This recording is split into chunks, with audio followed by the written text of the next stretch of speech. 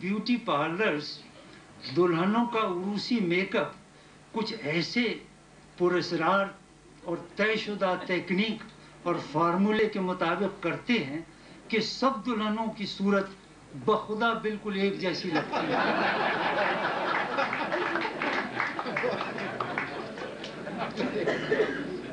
मेरा ये तासुर यकीन की हद तक पहुँच गया है कि अगर लव मैरिज तक की 20 ऐसी मेकअप शुदा दुल्हनों को एक कमरे में बिठा दिया जाए तो कोई दूल्हा अपनी मुतलका दुल्हन को न पहचान पाएगा और किसी और की दुल्हन को हमरा ले जाएगा and they lived happily ever after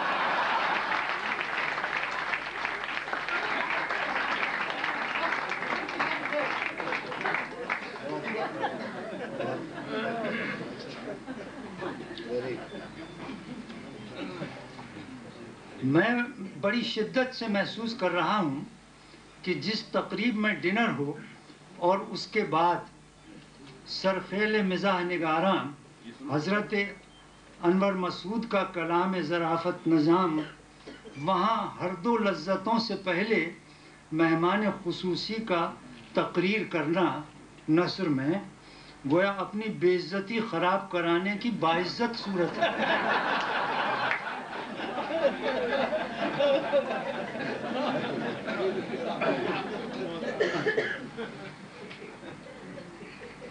ये तो ऐसा ही है कि मैं अपने दोस्तों को मदूद करके ऐलान करूँ कि कुछ देर बाद स्वीट डिश, यानी कुल्फ़ी, सूफले और शाही टुकड़े पेश होंगे।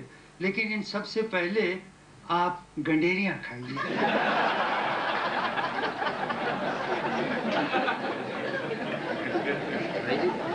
मैंने, और ये भी कहूँ कि मैंने गन्ना दस्ते खास से बड़े खुलूस से छीला है। हज़रत, जिस तकरीब में डिनर और शायरी बिलखसूस आला तरीन मंजूम मिजाह मोहल्ला का अहतमाम हो, वहाँ किसी नसर नगार का तूती बोलना तो दरकिनार, चोंच खोलना भी बदमजाफी होगी। हाजरीन हाजरीन डिनर और शेर सुखन के बजा तौर पर मुंतज़र रहेंगे और गालिबा हैं इस वक्त भी। मेरी नसर को तो इस वक्त वही हैसियत है जो इश्तहारात में आजकल वक्फे वाली गोली की बताई जाती है।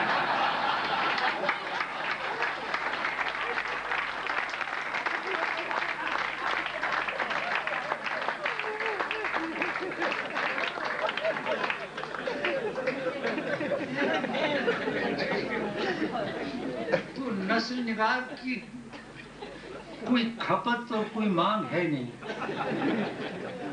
आज से तीन बरस पहले ह्यूस्टन में मुझे मधु किया गया था, ऐसी तकरीब के लिए। तो वहाँ के जो मुंतजमीन थे, उन्होंने ह्यूस्टन के बहुत ही बड़े पाकिस्तानी ताजर से स्पॉन्सरशिप के लिए कहा। हालाँकि उसमें टिकट भी लगा हुआ था बीस डॉलर का। तो उस ताजिर ने, पाकिस्तानी ताजिर ने पूछा कि ये मुश्ताक अहमद यूसुफी क्या करते हैं? तो वो चकराए, कहने लगे, करते तो कुछ नहीं, लिखते हैं। तो उसने ये पूछा कि, क्या लिखते हैं? तो उसने कहा, ये हँसी दिल लगी की बात। है तो कहने लगा, क्या मुइन अख्तर से भी बेहतर है?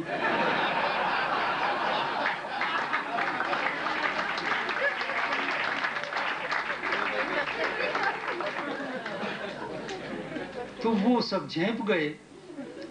और उन सेठ साहब ने न सिर्फ़ ये कि स्पॉन्सरशिप्स न की, बल्कि वो पंद्रह बीस डॉलर का टिकट भी नहीं खरीदा। अब मैं आपको अपने मजामी और तकरीरों से चंद इकतबासात सुनाने की इजाज़त चाहता हूँ। कुछ मतबुआ हैं, कुछ गैर मतबुआ और कुछ शायद ना मतबू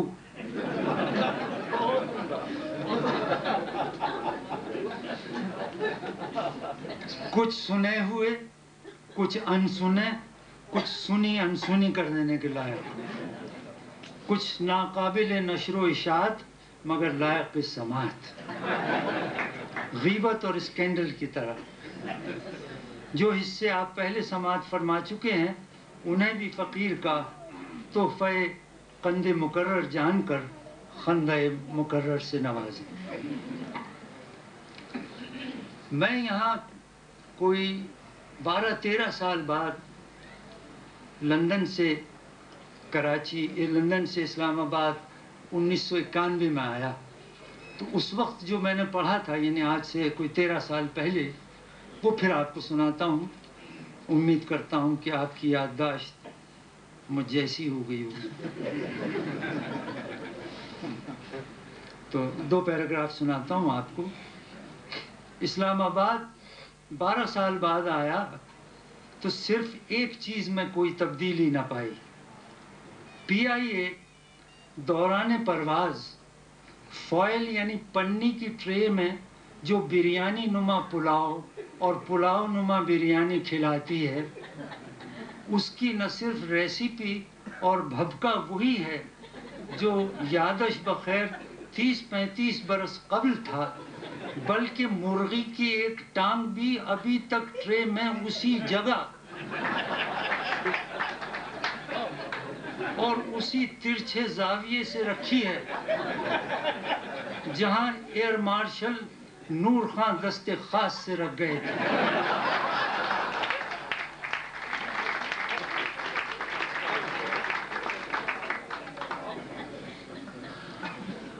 फिर था कीमतों का कोई ज़िक्र था। कि कीमतों का ज़िक्र आया तो एक तजवीज़ आजिज़ के जहन में आई है कि दुनिया में अभी तक इन्फ्लेशन, यानी अफरात ज़र का इलाज दरियाफ्त नहीं हुआ। तीसरी दुनिया की हुकूमतें नोट छाप छाप कर बजट का खसारा पूरा करती हैं। नोट छापने और अफरात ज़र पर काबू पाने की मेरे ख्याल में तो एक ही प्रैक्टिकल सूरत है। वो ये कि गवर्नर स्टेट बैंक को कानूनन इसका पाबंद किया जाए कि वो हर नोट पर असली दस्तखत, यानी अपने कलम और रूशकाई से दस्तखत करेगा ऐसे में ज़मीर तो क्या साफ़ होंगे? हमारा तो माफियूज ज़मीर तक साफ़ नहीं। ज़रा गौर से देखें तो खुलेगा कि सच भी हम इस तरह अटक अटक कर बोलते हैं, गोया झूठ बोल रहे हैं। बुरी बात को बुरी बात कहते हुए हमारी ज़बान और कलम लड़खड़ाने लगते हैं। चुनाचे एक दूसरे की तारीफ़ व सताइश ही में हमें आफियत नज़र आती है। उस्ताद ज़ौक़ के बारे में मशहूर है कि वो हर कसीदे और मदहिया अशार के बाद एक लोटे से खूब कुल्लियाँ करते थे। हम पर तो गसल वाजिब है।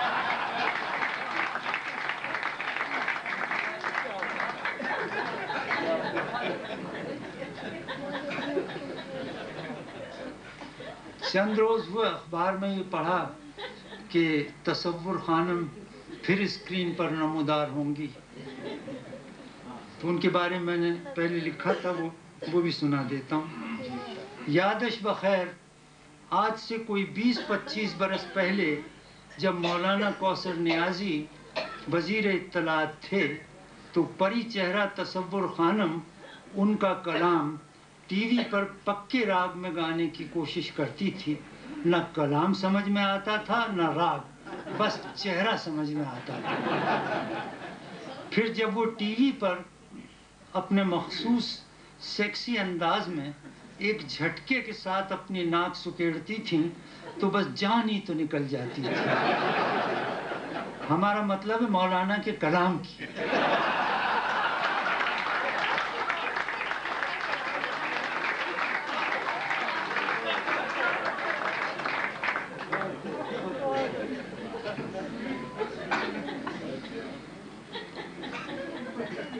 एक मजमून आपको कराची में आर्ट्स काउंसिल की एक चार मंजिला इमारत है, उसमें सीढ़ियाँ नहीं हैं। शुरू से आखिर तक रैंप है। ऐसी इमारत हमने कोई देखी ही नहीं। उस पर मैंने लिखा था, वो सुनाता हूँ आपको। कराची की आर्ट्स काउंसिल जिस चार मंजिला इमारत में वाक़ है, इसमें न लिफ्ट है, न जीना। सिर्फ़ एक रैंप है, जिसे हम एक उमूदी, यानी कमर तोड़ चढ़ाई कह सकते हैं। इसका नक्शा मुलाहजा हो।